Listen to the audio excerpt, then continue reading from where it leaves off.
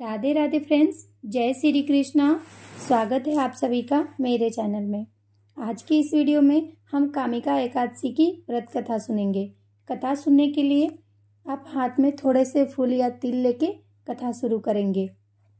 सावन मास के कृष्ण पक्ष की एकादशी पवित्र एकादशी अथवा कामिका एकादशी कहलाती है।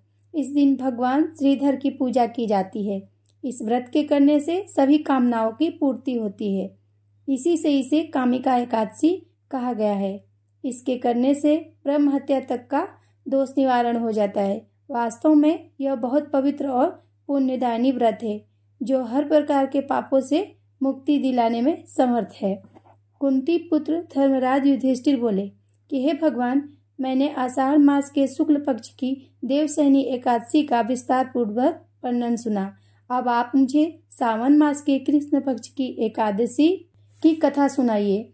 उस एकादशी का क्या नाम है तथा इसकी विधि क्या है? इसमें कौन से देवता की पूजा होती है?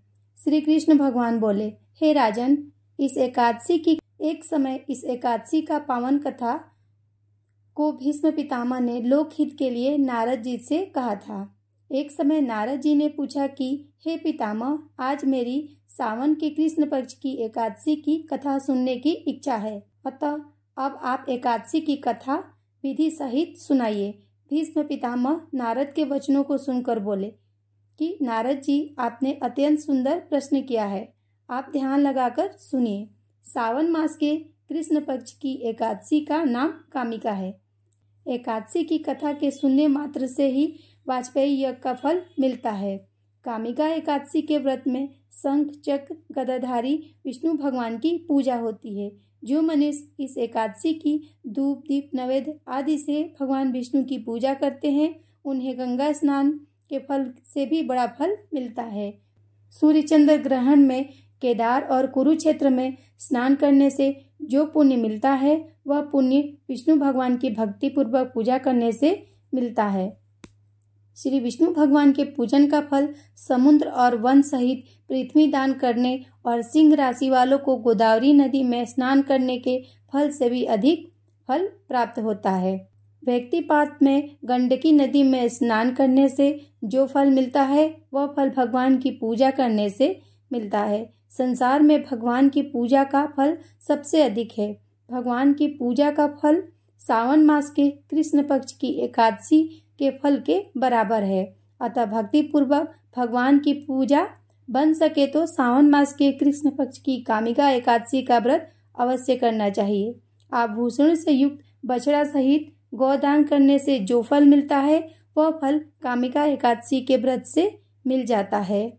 जो उत्तम द्विज सावन मास के कृष्ण पक्ष की कामिका एकादशी का व्रत करते हैं तथा श्री विष्णु भगवान की पूजा करते हैं, उससे समस्त देव नाग, किन्नर, पित्र आदि की पूजा हो जाती है। इसलिए पापी से डरने वाले व्यक्ति, इसलिए पापों से डरने वाले व्यक्ति को विधि विधान सहित इस व्रत को करना चाहिए। संसार सागर तथा पापों में फंसे हुए मनुष्यों को इनसे छूटने के लिए कामिका एकादशी का व्रत अवश्य करना चाहिए।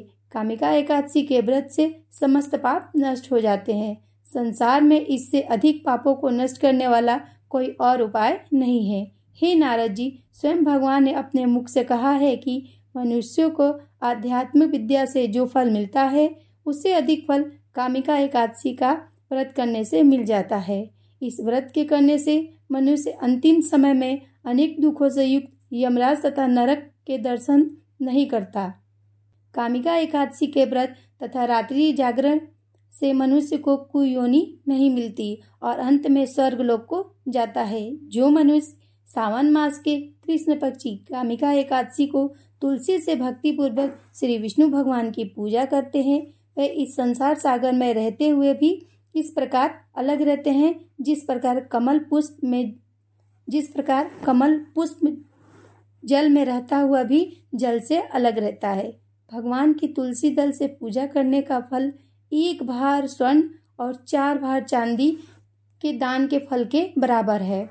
श्री विष्णु, भगवान, रत्न, मोती, मणि आदि आभूषणों की अपेक्षा तुलसी दल से अधिक प्रसन्न होते हैं। जो मनुष्य भगवान की तुलसी दल से पूजा करते हैं, उनके समस्त पाप नष्ट हो जाते हैं। हे नारद जी, मैं भगवान की अत्यंत प्रिय श्री तुलसी जी को नमस्कार करता हूँ। तुलसी जी के दर्शन मात्र से मनुष्य के समस्त पाप नष्ट हो जाते हैं और शरीर के स्पर्श मात्र से मनुष्य पवित्र हो जाते हैं। तुलसी जी को जल से स्नान कराने से मनुष्य सभी पाप यम यातनाएँ नष्ट हो जाती है। जो मनुष्य तुलसी जी को भक्ति पूर्वक भगवान के चरण कमलों में अर्पित करता है, उसे मुक्ति मिलती है। जो मनुष्य इस कामिका एकादशी की रात्रि को जागरण करते हैं और दीपदान करते हैं, उनके पुण्यों को लिखने में चित्रगुप्त भी असमर्थ है। जो मनुष्य एकादशी के दिन भगवान के सामने दीप जलाते हैं, उनके पितृ स्वर्गलोक में सुधा का पान करते हैं। जो मनुष्य भगवान के सामने घी या तेल का दीपक जलाते हैं, उनको सूर्यलोक में सभी सहस्त्रों दीपकों का प्रकाश मिलता है। प्रत्येक मनुष्य को इस एकादशी का व्रत अवश्य करना चाहिए। इस व्रत के करने से ब्रह्म हत्या आदि के समस्त पाप नष्ट हो जाते हैं और इस लोक में सुख होकर अंत में विष्णु लोक को जाते हैं।